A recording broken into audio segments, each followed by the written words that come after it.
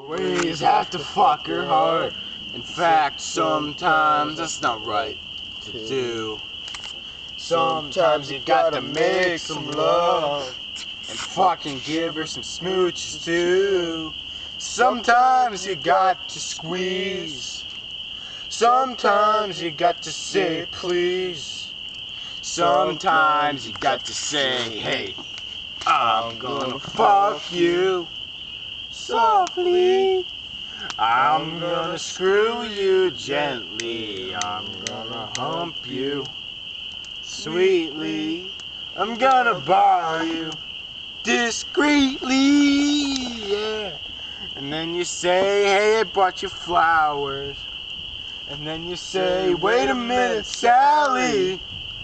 I think I got something in my teeth. Could you get it out for me? That's fucking teamwork.